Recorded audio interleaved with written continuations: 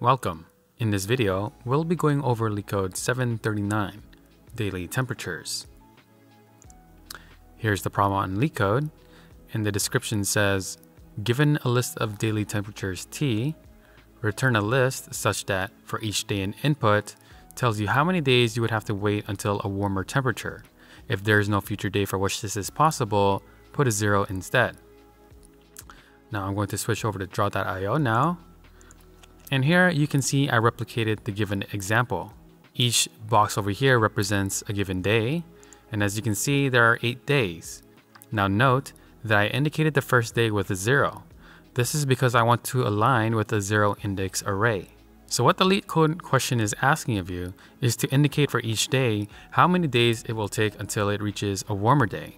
For example, on day 0, which has a temperature of 73, it will only take one day until it reaches a warmer day, and that is because the next day has a temperature of 74. Therefore, the first entry in the result array is 1.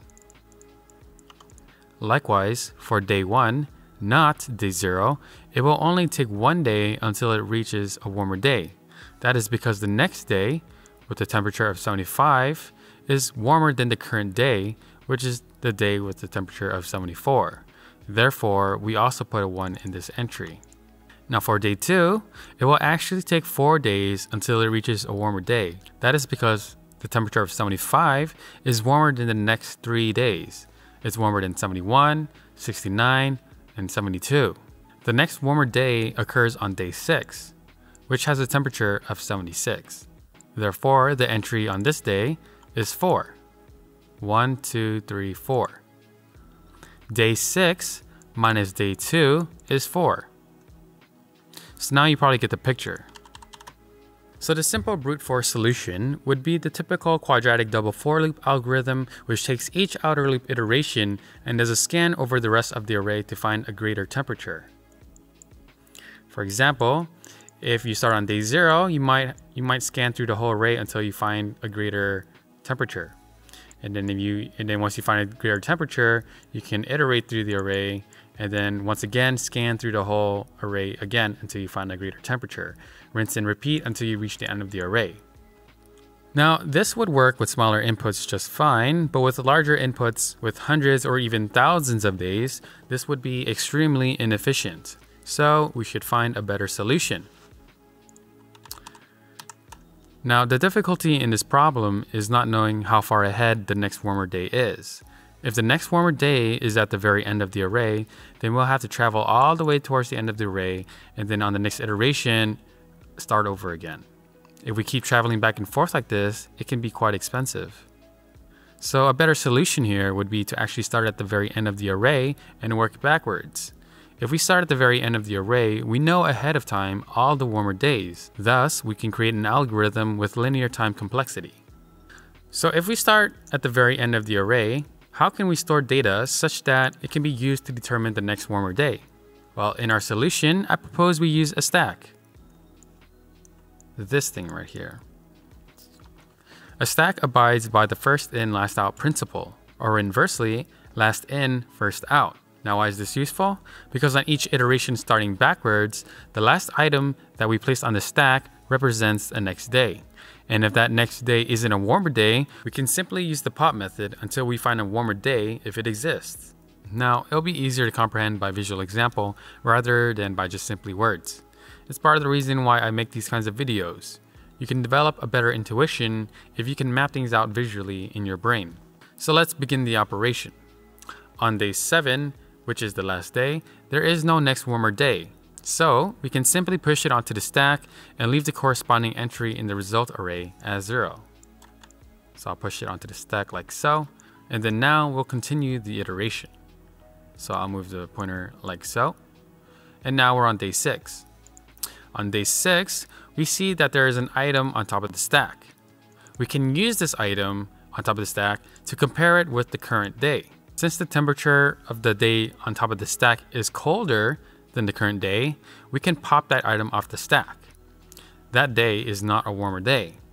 Therefore, since the stack is empty, we can determine that there is no next warmer day. So we'll leave the corresponding entry in day 6 as 0. And now we can push this item onto the stack.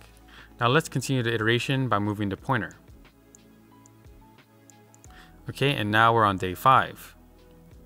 On day 5, we see that the temperature of the item on top of the stack is warmer than the current day. Therefore, this day is the next warmer day. To calculate the distance, we can simply subtract the index of the next warmer day by the index of the current day. In this case, day 6 minus day 5 is 1. Therefore, we can place 1 in the entry. And now I'll push the current day onto the stack and continue the iteration. And that leaves us at day 4. Now on day 4, we yet again see that the item on top of the stack is warmer than the current day. 72 is warmer than 69. To calculate the distance, we again take the index, which is day 5, and subtract it by day 4, and that gives us 1. So we place 1 in the entry because it'll only take one day until the next warmer day. And then now we can simply push this item onto the stack and move the pointer. On day 3, we see that the item on top of the stack is actually colder than the current day. 69 is colder than 71. That means that the item on top of the stack is not the next warmer day. Therefore, we can simply pop that item off, off the stack by deleting it. And now, since there are still items in the stack, we can continue the comparison. Now, the item on top of the stack is warmer than the current day, therefore this item is the next warmer day.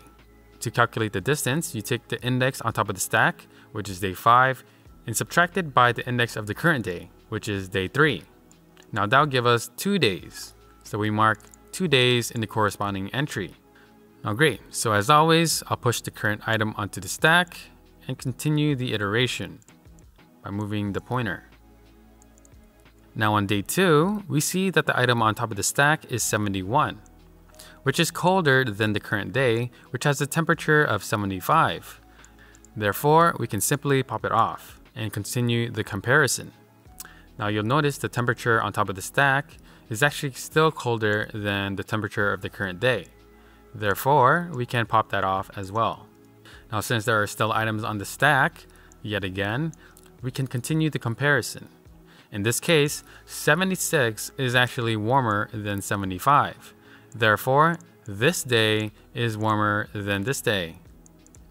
To calculate the distance between these two days, simply subtract the index of the item on top of the stack, which is day 6, by the index of the current day, which is day 2.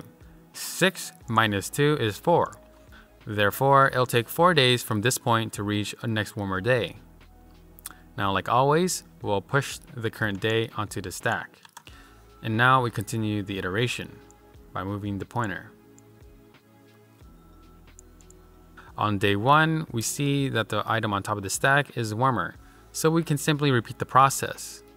We subtract the difference, which is day 2 minus day 1, and we put that in the entry, and then we can simply push that item onto the stack and then move to the next day. Rinse and repeat. On day zero, we see that again, the item on top of the stack is warmer than the current day. So we can calculate the distance by calculating day one minus day zero, which gives us one. We can simply put one in the entry and then pop the item, push the item on top of the stack. And there you go. At this point, we've reached the end of the array. Okay, so now we're finally done. I encourage you to implement this conceptual solution and to give it a good shot. Otherwise, I'll be switching over onto my code editor now. Now, as you can see here, I replicated to give an example. T equals 73, 74, 75, 71, 69, 72, 76, and 73. I'll start by creating an arrow function called daily temperatures. And in this case, it'll take in a parameter called t, which is a number array. And as a return value, it'll also expect a number array, like so. So let's instantiate our data structures. The first one will be the result array initialized with zeros. In this case, let result equals new array and this will have a size of t dot length and we're going to fill it with all zeros. Now the next data structure is going to be our stack. So let's stack equal empty array. Now in JavaScript, and by extension TypeScript, we can use normal arrays to behave as stacks. When we push something onto the array, it will be pushed at the very end of that array, which for our purposes is identical to pushing something on top of the stack. If we pop something from an array, it will remove that last item from the array, which again for our purposes means it will remove the topmost item from the stack. Now you'll see an error here, and that's because it's expecting a return value. I'll simply return the result. Okay, so let's talk about the stack for a moment. Since I'm using TypeScript, I'll create a tuple data type, which I'll call temp and index. So type temp and index is equal to number and number. And the stack will be an array of these tuples. So temp and index array. Now, if you're a little confused by that, let me explain. I'll go back to draw.io and I'll go over here real quick. You see, on our stack, we have not only the temperature of the day, but we also have the index. And that's what temp and index is. Every item on the stack is actually going to be an array of two numbers. The first entry of the, of the array is going to be the temperature. And the second number is going to be the index. Okay, so I'm going to go back to my code editor now. Now, as you can see here, the stack is going to be an array, and every item within the array is going to be a type temp and index, which is also an array, but in this case, it will be an array of two values. The first value will be a temperature, and the second value would be the index. Okay, so let's set up the for loop. Remember we're starting at the very end of the array. This means that we'll initialize our starting index at t.length minus 1. So for let i equals t.length minus 1. We subtract t.length by 1 because the first element of the array starts at 0, while the length does not. Now since we're starting at the very end of the array, we're going to continue until we reach the beginning of the array. In this case, i will be true as long as it is greater than or equal to 0. Now to traverse from the end of the array, we simply type i minus minus. Alright, so let's write the core logic here. Now remember, we start the iteration by always comparing the current day with the topmost item on the stack. If the topmost item on the stack is colder than the current day, that means that it's not the next warmer day. Therefore, we pop it off the stack and we continue comparing and popping until we find a next warmer day. So, to write this logic, I'll start by typing while stack.length. Now, stack.length will return a zero if it's empty. Otherwise, it will return some arbitrary number, which will pass the condition. And if we determine that the stack is not empty, we must now compare the temperature of the current day to the temperature of the item on top of the stack. And I'll write that by typing and T of I, which is the, the temperature of the current day, is greater than or equal to stack, stack.length minus 1, and 0. Now, if you're confused as to what that means, let me break it down for you. The stack is obviously the stack containing all of the next days.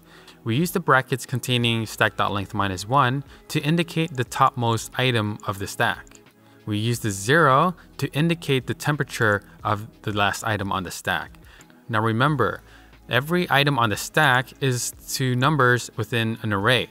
The first number of that item is the temperature. The second item is the index.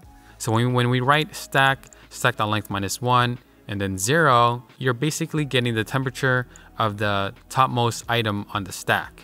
Now notice that I'm using the greater than or equal to operator here. This means that if the current temperature is warmer or equal to than the temperature on top of the stack, we remove that item on the top of the stack by using stack.pop.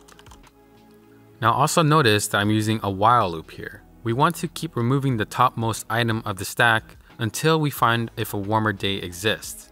If there is no next warmer day, then the stack becomes empty. In that case, we exit this while loop.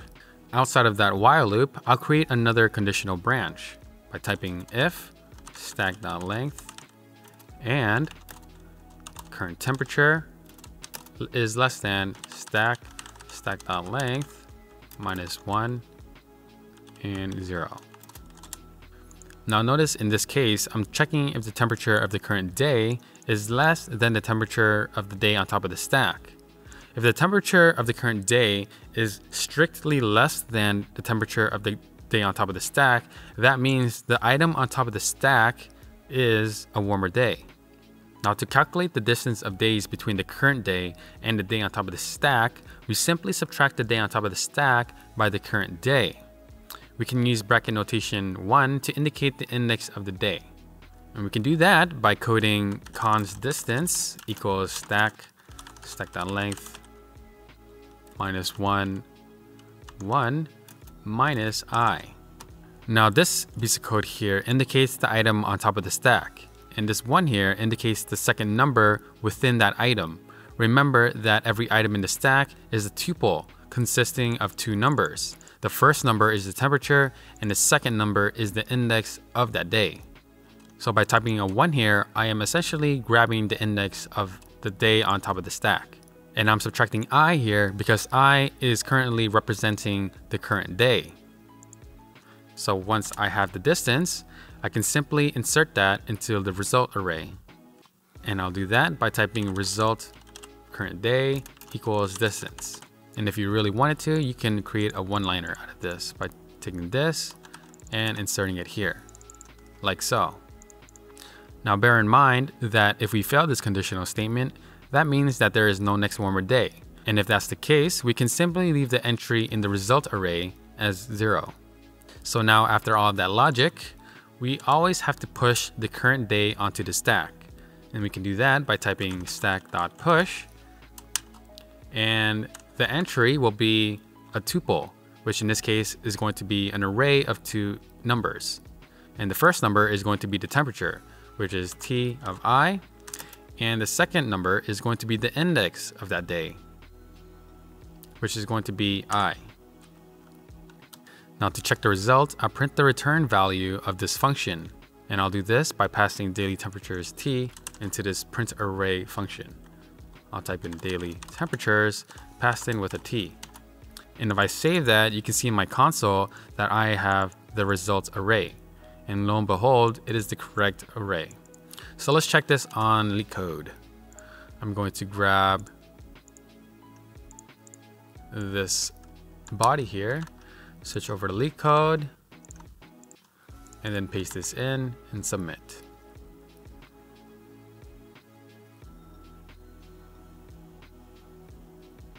Okay, great, and it works. Well, thank you for watching, and I hope you find this useful. Remember to like and subscribe. Thank you very much.